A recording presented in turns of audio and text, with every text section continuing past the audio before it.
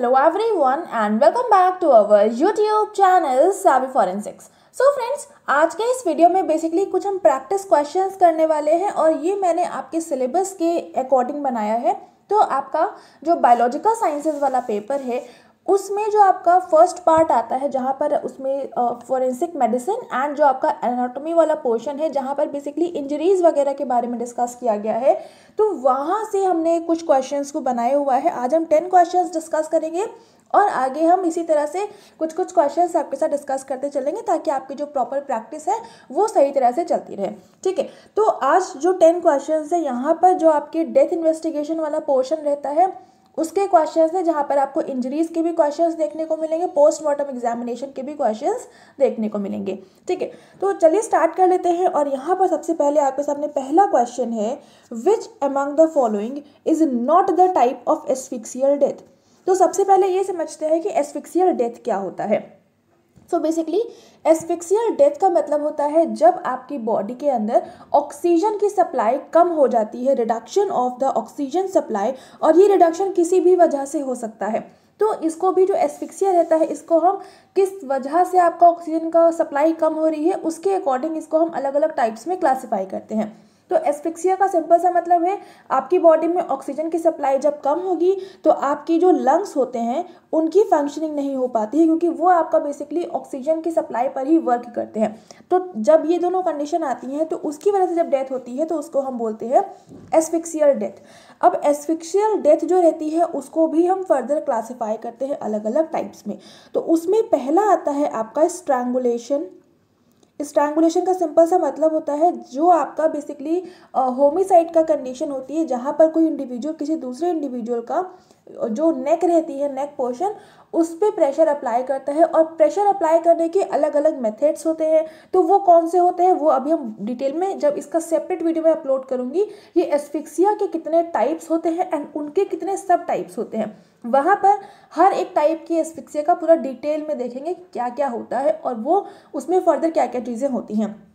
तो पहला टाइप आ गया आपका स्ट्रैंगुलेशन सेकेंड टाइप होता है आपका सफोकेशन सफोकेशन का मतलब होता है जब आपकी बॉडी में ऑक्सीजन की सप्लाई कम हो रही है और यहाँ पर बेसिकली आपके नेक रीजन पे प्रेशर अप्लाई नहीं होगा।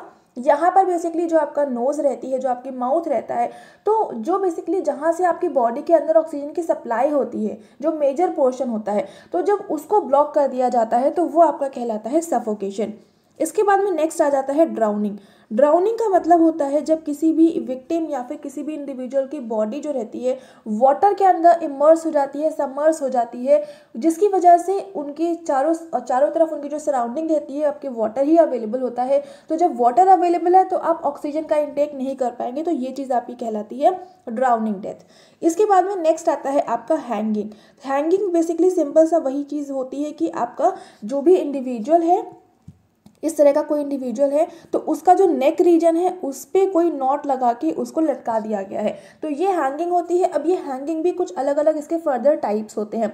तो ये कौन कौन से टाइप्स होते हैं, ये सारा हम समझेंगे बाद में। लेकिन अभी तक आप इतना समझ लीजिए कि जो एस्फिक्सिया होता है, इसके मेजर जो क्लासिफिकेशन होता है, वो चार तरह में क्लासीफाई करते हैं।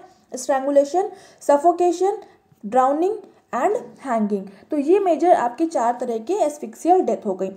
अब जो आपके यहाँ पर मैंने ऑप्शंस दिए हैं, ये ऑप्शंस बेसिकली जो इसके भी फर्दर सब टाइप्स होते हैं, उसके अंदर से मैंने बताया है। तो इनको हम देख लेते हैं। तो यहाँ पर बुर्किंग जो रहता है, ये आपका एस्फिक्सियल डेथ है और ये बेसिकली सफोकेशन के अंडर आता है। सफोकेशन का एक सब टाइप होता है, जिसको हम बोलते हैं बुर्किंग। तो बुर्किंग में होता क्या है बेसिकली ये आपका नीचे जो कुछ मैं मैं एक्सप्लेन करूँगी, वो सब कुछ नीचे लिखा भी होगा तो आप इसको आराम से देख लीजिएगा। तो बुर्किंग में होता क्या है, जो स्मूदनिंग होती है तो पहले इंडिविजुअल की डेथ स्मूदरिंग से करते हैं। स्मूदरिंग के बाद में ट्रोमेटिक एस्फिक्सिया फॉलो करी जाती है। तो स्मूदरिंग में पहले तो स्मूदरिंग ही समझ लेते हैं। स्मूदरिंग जो रहता है आपका एक तरह का सफोकेशन की वजह से ही होने वाला ये आपका टाइप होता है, जिसको हम स्मूदरिंग बोलते हैं। यहाँ पर जो भी इंडिविजुअल है, उसकी जो नोज़ है और जो उसका माउथ है तो इन दोनों ही चीज़ों को ब्लॉक कर दिया जाता है with the help of pillow with the help of any other material it may be a cloth piece it may be a cotton ये कुछ भी हो सकता है, ठीक है? तो वो चीज़ की हेल्प से जब माउथ और नोज़ की जो इंटरी पैसेज रहता है एयर पैसेज रहता है, उसको हम ब्लॉक कर देते हैं तो वो कहलाता है आपका स्मूदरिंग और स्मूदरिंग के अलावा यहाँ पर बताया ट्रोमैटिक एस्फिक्सिया तो ट्रोमैटिक एस्फिक्सिया जो रहता है, यहाँ पर जो भी इंडिविजुअल का चेस्ट होता है उस पर काफ़ी ज़्यादा फोर्स अप्लाई होता है, जिसकी वजह से जो उसकी चेस्ट अवेलेबल होता है चेस्ट में जो रिप्स होती हैं, जो उसमें चेस्ट में लंग्स अवेलेबल होते हैं तो उसमें बहुत ज़्यादा कंप्रेशन अप्लाई होता है, जिसकी वजह से इंडिविजुअल ऑक्सीजन का इंटेक नहीं कर पा रहा होता है और आपके जो लंग्स होते हैं, उसमें भी डैमेज कॉज होता है। तो ये चीज़ आपकी कहलाती है ट्रोमैटिक एस्फिक्सिया ठीक है? तो ये हो गया आपका ट्रोमेटिक एस्फिक्सिया और यहाँ पर अगर हम बात करें बचा आपका चोकिंग तो चोकिंग बेसिकली क्या होता है जो आपकी इंट्री पैसेज होता है एयर का जहाँ से आपका, जैसे कि मान लीजिए ये आपकी नोज़ है नोज़ के बाद आपकी ओरल कैविटी से होता हुआ लैरिंग्स आता है लैरिंग्स के बाद में फैरिंग्स आता है एंड देन ये आपका ईसोफेगस से होते हुए आपके ब्रोंक्यूल्स ट्रैकिया वगैरह आते हैं जो कि आपके लंग्स में जाकर इंटर कर जाते हैं। तो अब यहाँ पर जितनी भी वेसल्स यूज़ हुई हैं बेसिकली जो आपका इंटरी पैसेज है, जब इसमें किसी भी वजह से ब्लॉकेज हो जाता है, अब इसमें ये भी हो सकता है कि कोई फ़ूड फ़ूड पार्टिकल इंटर कर गया हो या कोई भी तरह का फॉरेन ऑब्जेक्ट जब इस इंट्री पैसेज को ब्लॉक कर देता है, उसकी वजह से आप एयर का इंटेक नहीं कर पा रहे होते हैं तो वो जो कंडीशन आती है, वो कहलाती है चोकिंग ठीक है? तो यहाँ पर जो आपकी एस्फिक्सियल डेथ पूछी गई है तो ये चार, तीनों तरह ही आपकी एस्फिक्सियल डेथ का ही होते हैं। बस ये अलग अलग जो मेजर इसके टाइप्स होते हैं, उनके सब टाइप्स होते हैं। तो ये तीनों ही आपके एस्फिक्सियल डेथ के ही टाइप है तो करेक्ट आंसर हो जाएगा इसका। Option number D that is all of these are the type of asphyxial death अब आगे चलते हैं और बेसिकली जो कुछ मैंने यहाँ पर आपको बताया है, वो सब कुछ यहाँ पर लिखा भी हुआ है तो आप इसको एक बार रीड भी कर लीजिएगा। नेक्स्ट क्वेश्चन है आपका who devised the rule of nine तो जो रूल ऑफ़ नाइन है, इसके बारे में किसने बताया है? तो रूल ऑफ़ नाइन जो है, ये साइंटिस्ट थे पुलास्की एंड टेनिसन इन्होंने रूल ऑफ़ नाइन के बारे में बताया था। रूल ऑफ़ नाइन क्या होता है? ये अभी आपका आगे क्वेश्चन है तो इस वजह से मैं इसको यहाँ पर नहीं बताऊँगी। ठीक है? तो यहाँ पर इसका एक छोटा सा पॉइंट और है कि जो आपका रूल ऑफ़ नाइन है इसको डिवाइस किसने किया था? मतलब इसके बारे में बताया था। ये पुलास्की एंड टेनिसन ने 1947 में एंड इसके बारे में पब्लिश किया था। यानी कि जो पेपर पब्लिश होता है, वो पब्लिश किया था ए बी वॉलेस ने 1951 में। अब ये आपका ए बी वॉलेस ने इस रूल के बारे में पब्लिश किया था। तो इसी वजह से जो आपका रूल ऑफ़ नाइन होता है, इस रूल ऑफ़ नाइन को हम वॉलेस रूल ऑफ़ नाइन भी कहते हैं। क्यों कहते हैं? क्योंकि ये आपका साइंटिस्ट जो थे, उन्होंने ही इसके बारे में बताया था। तो इसको बोला जाता है वॉलेस रूल ऑफ़ नाइन। ठीक है? अब आपका नेक्स्ट क्वेश्चन यही है कि रूल ऑफ़ नाइन जो है, उसका यूज़ किस पर्पज़ से करते हैं? उसके उसके, उससे बेसिकली हम क्या डिटरमाइन करते हैं? तो सिंपल सा है, जो आपकी बॉडी रहती है तो आपके ऑप्शंस अलग अलग हैं, आप देख लीजिएगा, बाकी करेक्ट आंसर मैं बता देती हूँ कि जो इंडिविजुअल की बॉडी रहती है तो उसमें जो बर्निंग हुई है तो कितनी परसेंटेज तक बर्निंग हुई है? इस चीज़ को आइडेंटिफाई करने के लिए हम रूल ऑफ़ नाइन को अप्लाई करते हैं। तो करेक्ट आंसर है option number C percentage of burned body अब इसमें होता क्या है? मान के चलिए, ये एक इंडिविजुअल है। मैं थोड़ा सा बस आपको समझाने के पर्पज़ से बता रही हूँ ताकि आपको समझ में आ पाए। तो इसमें क्या रहता है? ये एक इंडिविजुअल का फ्रंट साइड है और ये एक इंडिविजुअल का बैक साइड है। ठीक है, ये इससे पहले भी मैं आपको बता चुकी हूँ, ये आई थिंक मैंने रूल ऑफ़ नाइन बताया था। फिर मैं आपको रिपीट कर देती हूँ। रूल ऑफ़ नाइन में ये आपका इंडिविजुअल है। तो यहाँ पर ये जो इसका है, ये फ्रंट साइड है, ये वाला जो है इसका बैक साइड है। अब यहाँ पर ये चीज़ समझिए कि जो आपका हेड और नेक वाला रीजन है। इसके लिए आपका फोर पॉइंट फाइव यानी कि फोर एंड हाफ़ परसेंट आपका दिया जाता है और जो बैक साइड रहता है उसके लिए भी सेम है फोर पॉइंट फाइव परसेंट यानी कि four is to one by two percent तो आप इसको कैसे भी समझ सकते हैं यानी कि आपका हेड और नेक रीजन इसके बाद में जो आपके हैंड आते हैं तो हैंड का भी जो फ्रंट साइड रहता है, उसके लिए फोर पॉइंट फाइव परसेंट हर एक मतलब ईच आर्म के लिए यही रहता है। और इसी का अगर हम बैक साइड मतलब हैंड के बैक साइड की बात करें तो उसके लिए भी आपका फोर पॉइंट फाइव परसेंट रहता है। उसके अलावा यहाँ पर जो आपकी बॉडी रहती है तो आपकी बॉडी का जो एंटीरियर पोर्शन रहता है, उसके लिए आपका नाइन परसेंट रहता है। और इसी में आप अगर बैक साइड की बात करें तो वहाँ भी आपका नाइन परसेंट दिया जाता है। इसी बॉडी का जो पोस्टीरियर रीजन होता है, आपका ट्रंक का जो पोस्टीरियर रीजन होता है, जो एब्डोमिनल रीजन होता है फ्रंट साइड की बात करें तो ये नाइन परसेंट रहता है और आपकी वही बैक साइड की बात करें तो वो भी नाइन परसेंट रहता है। ईच लेग के लिए फ्रंट पोर्शन आपका नाइन परसेंट बैक पोर्शन आपका नाइन परसेंट ठीक है? और जो आपका पेरिनियल रीजन रहता है, उसके लिए आपका एक साइड से ही माना जाता है फ्रंट साइड से और वो आपका रहता है वन परसेंट अब यहाँ पर मान लीजिए किसी भी बॉडी कोई भी इंडिविजुअल की बॉडी बर्न हुई है तो अब ये जो आपका बॉडी वेट है, उसके अकॉर्डिंग ये परसेंटेज दी गई है और इस परसेंटेज के अकॉर्डिंग जो आपका बॉडी बर्न हुई है तो उसको हम चेक करते हैं कितने परसेंटेज तक बॉडी बर्न हुई है और इससे ये पता चलता है कि जो वहाँ पर आग लगी हुई थी, जो भी फायर की कंडीशन वहाँ पर थी तो वो कितनी तक की फायर वहाँ पर रही होगी। तो इस चीज़ को फाइंड आउट करने के लिए यहाँ पर ये चीज़ हम पता करते हैं।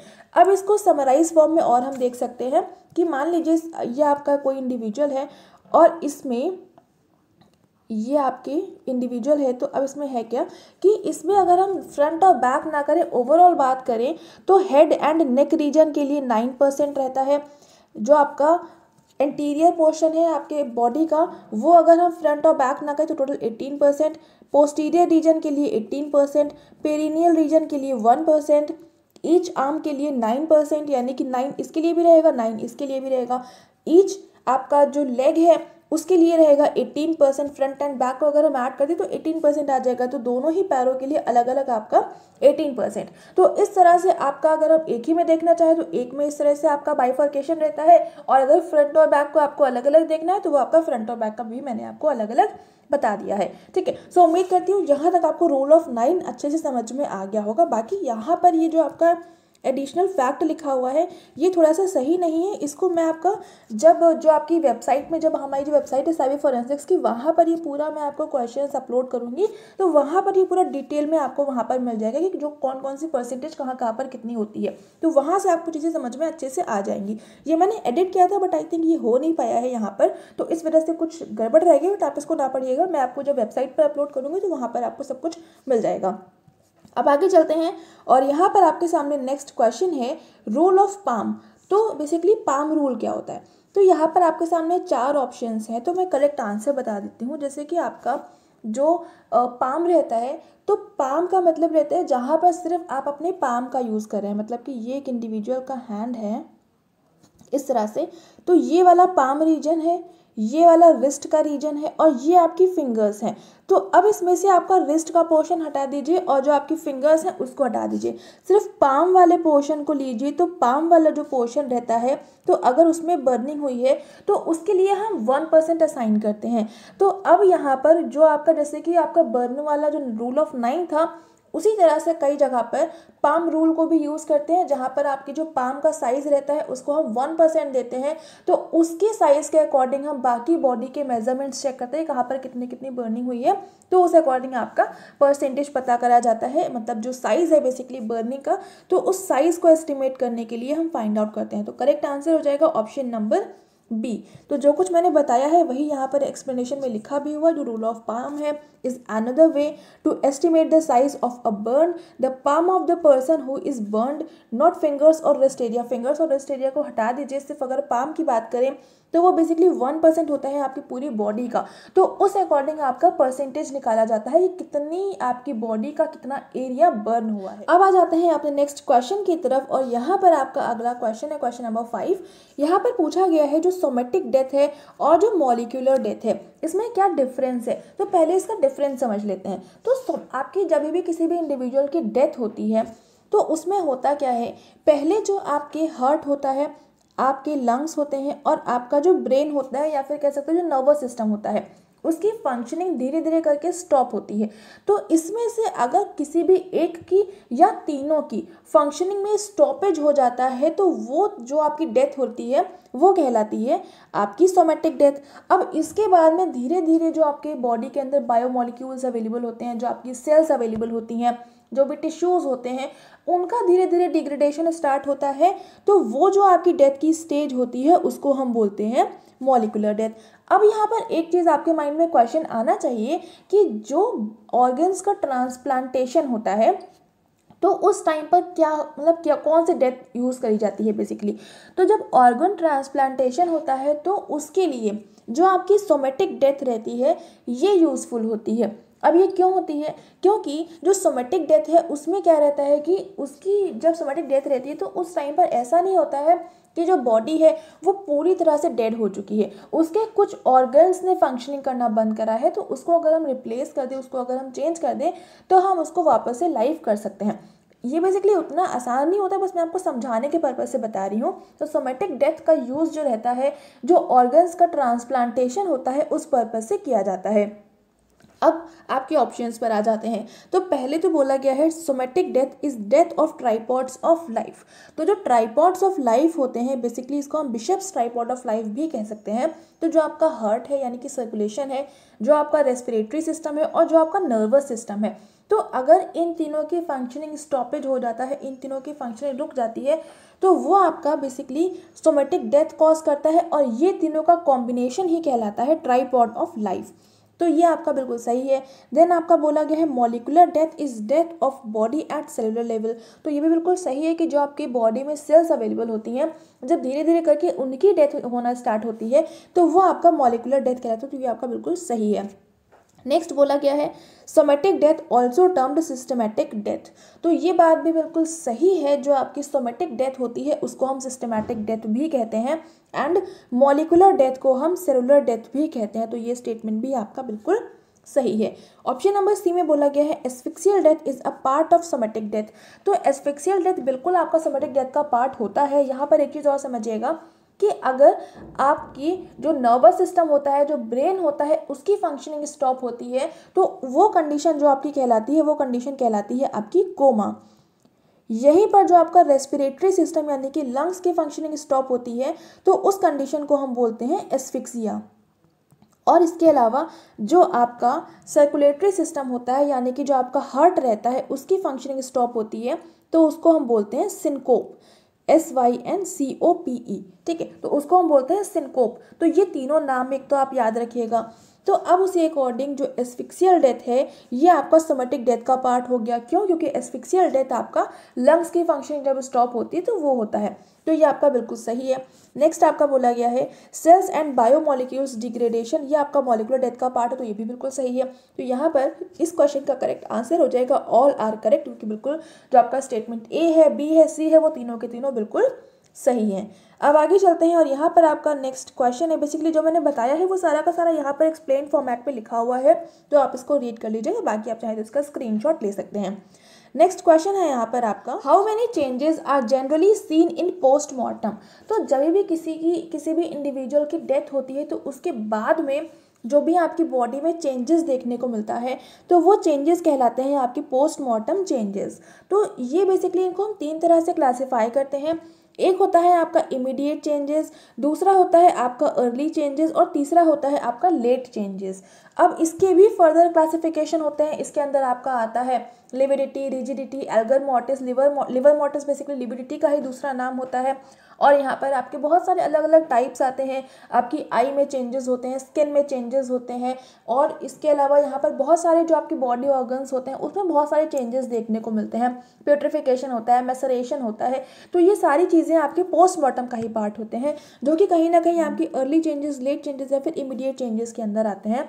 तो इस क्वेश्चन का करेक्ट आंसर हो जाएगा all of these that is option number D तो यहाँ पर वही चीज़ लिखी हुई है, आप इसको एक बार देख लेंगे। नेक्स्ट यहाँ पर आपका है question number seven what is antemortem injury antemortem injury क्या होता है? मतलब इसको हम क्या, किस तरह से डिफाइन कर सकते हैं? तो पहले तो आप ये समझिए कि एंटीमोर्टम और पोस्टमोर्टम इंजरी होती क्या है?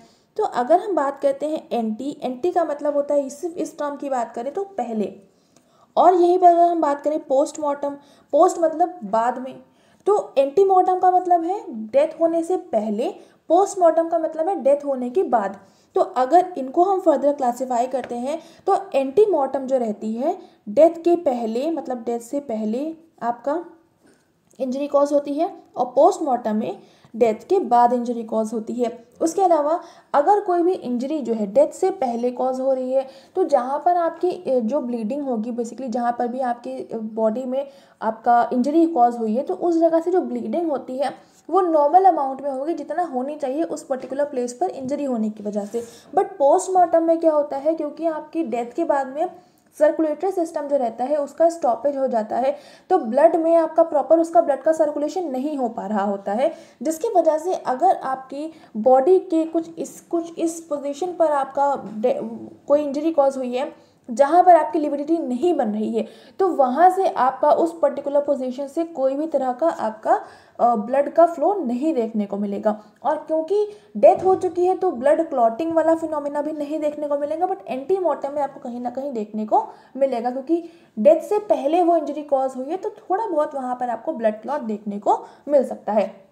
उसके अलावा एंटीमॉर्टम में क्या रहता है कि डेथ हो, डेथ होने से पहले अगर इंजरी कॉज हो रही है, यानी कि एंटीमॉर्टम इंजरी है तो वहाँ पर जैसे कि मान लीजिए ये एक इंडिविजुअल की बॉडी है, यहाँ पर इस तरह से कुछ कट लगा। तो कट लगने के बाद में इसमें वापस से कंस्ट्रक्शन भी होगा, ये आपका स्किन का नेचर है बट पोस्टमार्टम में ऐसा नहीं होगा। बहुत ही थोड़ा सा देखने को मिलेगा बट उतने अमाउंट में नहीं देखने को मिलेगा जितना होना चाहिए था। तो ये सारे कुछ आपके डिफ्रेंसिएशन होते हैं पोस्टमार्टम और एंटीमार्टम इंजरी के। तो यहाँ पर इस क्वेश्चन का करेक्ट आंसर है injuries before death that is option number B और यहाँ पर ये पूरा का पूरा आपका टेबलर फॉर्मेट में सब कुछ लिखा हुआ है। आप इसको एक बार रीड कर लेंगे तो आपको समझ में आ जाएगा। बाकी आप चाहे तो इसका स्क्रीन भी ले सकते हैं। नेक्स्ट क्वेश्चन क्या है? वॉट इज़ स्काल्डिंग तो स्काल्डिंग का क्या मतलब होता है? जब किसी भी बॉडी की बर्निंग होती है बर्निंग मतलब जला होता है, और जला किस वजह से होता है? बहुत ज़्यादा हॉट लिक्विड या फिर हॉट स्टीम जो रहती है गैसेस जो रहती हैं। तो उसकी वजह से जब इंजरी कॉज होती है, जो बर्निंग कॉज होती है, उसको हम बोलते हैं स्कैल्डिंग अब यहाँ पर जैसे आपका लिखा हुआ है कोल्ड लिक्विड या फिर स्टीम तो कई बार बर्निंग जो रहती है, वो बहुत ज़्यादा कोल्ड की वजह से भी कॉज होती है, उसकी वजह से भी डैमेज होता है। तो यहाँ पर ये ना सोचिएगा कि अगर बर्न इंजरी है तो वो सिर्फ़ हीट कंडीशन की वजह से ही कॉज होगी, वो आपका कोल्ड कंडीशन की वजह से भी कॉज हो सकती है। उसके अलावा यहाँ पर बोला गया है कोल्ड स्टिफनिंग कोल्ड स्टिफनिंग का मतलब क्या होता है कि जब कोई बॉडी जो है ऐसे इन्वायरमेंट में है जहाँ पर टेम्परेचर निगेटिव में चल रहा है या फिर ज़ीरो डिग्री सेल्सियस के आसपास का है तो उस कंडीशन में जो बॉडी रहती है, उसमें काफ़ी ज़्यादा स्टिफनेस आ जाती है, बहुत ज़्यादा जो मसल्स होती हैं, वो आपकी स्ट्रेच हो चुकी होती हैं काफ़ी ज़्यादा। तो वो चीज़ आपकी कहलाती है कोल्ड स्टिफनिंग तो इस क्वेश्चन का करेक्ट आंसर है आंसर नंबर बी मतलब ऑप्शन नंबर बी और यहाँ पर स्कैल्डिंग क्या होता है, वो यहाँ पर लिखा भी हुआ एक तरह का बर्न इंजरी है जो कि हॉट लिक्विड या फिर स्टीम की वजह से कॉज होता है। नेक्स्ट क्वेश्चन है आपका what is medico legal importance of tattoo तो जो टैटो मार्क्स रहते हैं, उसका क्या मेडिको लीगल आस्पेक्ट से इंपॉर्टेंस है? तो अगर हम सिंपल से बात करें तो जनरली टैटो इंडिविजुअल किस तरह के बनवाते हैं? या तो उनका चॉइस ऑफ़ इंटरेस्ट उस तरह का होता है, उनका रिलीजन वाला कोई मार्क हो सकता है वो किसी अपने लव्ड वन का नाम वगैरह लिखवा सकते हैं, उनकी फ़ोटो बनवा सकते हैं। तो जनरल कंडीशंस में जो टैटो मार्क्स रहते हैं, वो इसी तरह के देखने को मिलते हैं। तो इससे हम ये सारी चीज़ों का आइडिया लगा सकते हैं। और इस तरह से चीज़ें जो रहती हैं, उसके अलावा एक चीज़ और रहती है कि जो टैटो रहता है तो टैटो बनवाने से कई बार कैंसर जनरली आपका जो रहता है, वो कैंसर भी कॉज हो सकता है। तो अगर इंडिविजुअल में कैंसर हो रहा है तो वो भी एक टैटो का इम्पैक्ट हो सकता है, क्योंकि जो यहाँ पर इंक यूज़ करी जाती है टैटो बनवाने के लिए तो उस इंक की वजह से आपके बॉडी में कैंसर कॉज होता है तो ये भी काफ़ी इंपॉर्टेंट पॉइंट है। तो इसको थोड़ा सा ध्यान में रख लीजिएगा। तो इस क्वेश्चन के अगर हम करेक्ट आंसर की बात करें तो ऑप्शन में बोला गया है यूज़फुल फॉर इंडिविजुअल आइडेंटिटी, बिल्कुल सही है। रिलीजन को हम आइडेंटिफाई कर सकते हैं। जो विक्टिम या फिर क्रिमिनल का लव्ड वन होता है, उसको भी हम आइडेंटिफाई कर सकते हैं। तो इस क्वेश्चन का करेक्ट आंसर हो जाएगा option number D that is all of these तो यहाँ पर जितना मैंने आपको बताया है, वो सारा कुछ यहाँ पर लिखा हुआ है तो आप इसको एक बार पढ़ लीजिएगा। बेसिकली जो मैंटालिटी है इंडिविजुअल की जो नेम है फ़ोटो है, उनके लव्ड वन की नेशनैलिटी है रिलीजन है तो ये सब कुछ आप आइडेंटिफाई कर सकते हैं सिर्फ़ और सिर्फ़ टैटो को एग्जामिन करके। ठीक है, अब आ जाते हैं अपने लास्ट क्वेश्चन की तरफ़ और यहाँ पर आपसे पूछा गया है, जो ब्रूज है और जो पोस्टमार्टम लिविडिटी है तो आप इनको कैसे कैसे डिफ्रेंशिएट करेंगे? तो पहले तो ये समझते हैं कि ब्रूज क्या होता है और लिविडिटी क्या होता है। तो लिविडिटी जो रहता है, एक तरह के आपकी बॉडी में अर्ली चेंज होता है, यानी कि आपकी डेथ हो गई है डेथ के थ्री टू फोर आवर्स के बाद में आपकी जो बॉडी में जो ब्लड अवेलेबल होता है, वो सारा का सारा आपकी बॉडी के एक साइड में कलेक्ट होने लगता है और उस साइड में बेसिकली जो आपकी बॉडी का डिपेंडेंट पार्ट होता है किसी ना किसी सरफेस पे तो उस साइड आपकी बॉडी का कलेक्शन होने लगता ब्लड का कलेक्शन होने लगता है आपकी बॉडी में। तो वहाँ पर आपकी बॉडी में ब्लड स्टेन नज़र आता है तो वो जो ब्लड स्टेन होता है बेसिकली वो आपका कहलाता है पोस्टमार्टम लिविडिटी और ब्रूस का मतलब क्या होता है कि कोई भी इंडिविजुअल है, उसकी बॉडी पर किसी ने बहुत ज़ोर से इम्पैक्ट किया, कुछ बहुत ज़ोर से मारा या फिर उसका कहीं लड़ गया, हाथ, पैर या जो भी तो उसकी वजह से आपकी बॉडी में ब्लड स्टेन नज़र आता है, वो आपका ब्रूज कहलाता है। और ये जो ब्रूज होता है बेसिकली जो आपके बॉडी के अंदर अवेलेबल ब्लड वेसल्स होती हैं कैपिलरीज होती हैं, उनके रप्चर की वजह से होता है। और उसकी वजह से जो आपका ब्लड वहाँ पर रहता है, वो ब्लड आपकी उस पर्टिकुलर सराउंडिंग में बाहर निकल आता है, क्योंकि कैपिलरीज में रप्चर हो गया है। तो उसकी वजह से वहाँ पर आपको एक पर्पल या फिर कह सकते हैं हल्का सा डार्क रेड कलर का वहाँ पर आपको कुछ नज़र आएगा तो वो चीज़ आपकी ब्रूज कहलाती है। तो ब्रूज और पोस्टमार्टम लिबिलिटी दोनों में बहुत डिफरेंस होता है। बट अगर थोड़ा सा ध्यान से ना देखा जाए तो इनमें कन्फ्यूज़न भी कॉज हो सकती है। तो अब यहाँ पर ऑप्शन पर आ जाते हैं और पहले ऑप्शन में लिखा हुआ है postmortem lividity is collection of blood due to stoppage of blood circulation तो ये बिल्कुल सही है। फिर bruise is the collection of blood due to rupture of blood vessels और कैपिलरी सो ये मैंने अभी आपको बताया, वही सब कुछ यहाँ पर लिखा हुआ है तो ये आपका बिल्कुल सही हो जाएगा। ऑप्शन नंबर बी में बोला गया है lividity shows variation in colour of stains in it basically जो लिविडिटी रहती है तो जो भी इंडिविजुअल है, उसकी डेथ किस पर्टिकुलर पॉइजन की वजह से हुई है, वो चीज़ पे आपका डिपेंड करता है कि जो भी लिविडिटी कॉज होगी, वो किस कलर की कॉज होगी, ठीक है? तो ये पूरा एक टेबल मैंने आपको एक बार बताया था एक वीडियो में तो उम्मीद करती हूँ आप लोगों ने देख रखा होगा, बट अगर नहीं देखा है तो मैं उसको जल्दी ही, उसका भी एक वीडियो एक सेपरेट बना दूँगी तो वो पूरी एक लिस्ट है, वो आपको मिल जाएगी। तो ये आपका लिविडिटी बेसिकली डिपेंड करता है कि किस वजह से आपकी डेथ हुई है बट जो आपकी ब्रूज होता है, उसमें बहुत ज़्यादा वेरिएशन देखने को नहीं मिलता है। जो नॉर्मल कलर्स रहते हैं ब्रूज में, वही बनता है। अब ब्रूज में बेसिकली कौन कौन से कलर बन सकते हैं, उसका भी मैं आपको एक लिस्ट दे दूँगी। बेसिकली ब्रूज जब आपका धीरे धीरे सही होता है तो वो कितने टाइम में सही होता है कौन कौन से कलर वेरिएशन शो करता है, वो भी आपको मिल जाएगा। बेसिकली यहाँ पर जो ब्रूज रहता है ये डिपेंड नहीं करता है कि किस तरह से इंजरी कॉज हुई है। ये एक सेम सेम पैटर्न को फॉलो करता है, वही सारे कलर्स हर तरह के ब्रूज में, हर तरह की बॉडी में देखने को मिलेंगे। बट लिविडिटी में ऐसा नहीं होता है तो ये आपका ये भी बिल्कुल सही हो जाएगा ऑप्शन नंबर बी भी सही है। सी में बोला गया है लिविडिटी को हम लिवर मोटिस कहते हैं, बिल्कुल सही है। और ब्रूज को हम कॉन्ट्यूजन कहते हैं, ये भी बिल्कुल सही है। तो इस क्वेश्चन का करेक्ट आंसर हो जाएगा option number D that is all are correct so so, यहाँ पर आज हमने टोटल टेन क्वेश्चंस करे हैं और उम्मीद करती हूँ आपको सारे क्वेश्चंस समझ में आए होंगे और ये बेसिकली बहुत ही अच्छी क्वालिटी के क्वेश्चंस थे। आपने अगर फैक्ट का पेपर देखा होगा तो बहुत डिफ़िकल्ट क्वेश्चंस नहीं आए थे तो उसी चीज़ को ध्यान में रखते हुए मैंने ये टेन क्वेश्चन को फ्रेम करवाया था। सो so, उम्मीद करती हूँ आपको सब कुछ समझ में आ गया होगा। एंड ये जो आपकी पूरी पीडीएफ थी ये आपको हमारी वेबसाइट पर अवेलेबल हो जाएगी तो वहाँ से जाकर आप इसको देख सकते हैं और बाकी आप चाहे तो उसके नोट्स भी प्रिपेयर कर सकते हैं। ठीक है? अब अपने नेक्स्ट वीडियो में मिलेंगे और वहाँ पर कुछ और क्वेश्चन हम डिस्कस करेंगे। बेसिकली नेक्स्ट वीडियो जो आएगा वो आपका जो सेक्शन ए का ट्वेंटी फाइव क्वेश्चन रह गए थे, उन्हीं को हम कंटिन्यू करेंगे तो वो आपका नेक्स्ट वीडियो हो जाएगा। तो वहाँ से भी बहुत डिटेल में हम सब कुछ करने वाले हैं, ठीक है? तो मिलते हैं अपने नेक्स्ट वीडियो में एंड ये वीडियो को शेयर ज़रूर से कर दीजिएगा, ताकि सभी तक ये वीडियो पहुँच जाए और सभी लोग अपनी नेट की प्रिपरेशन बेसिकली फैक्ट की प्रिपरेशन बहुत अच्छे से कर पाएँ। आपका एग्ज़ाम पास में ही है, आने ही वाला है। तो आपको बहुत अच्छे से स्टार्टिंग करनी होगी, आपने प्रिपरेशन करनी होगी एंड वीडियो में बताई गई इन्फॉर्मेशन अच्छी लग रही है, आपको कुछ नया सीखने को मिल रहा है तो वीडियो को लाइक ज़रूर से कर देंगे। चैनल को सब्सक्राइब कर लेंगे एंड बेलाइकन प्रेस कर लेंगे for daily updates and thank you so much for joining me here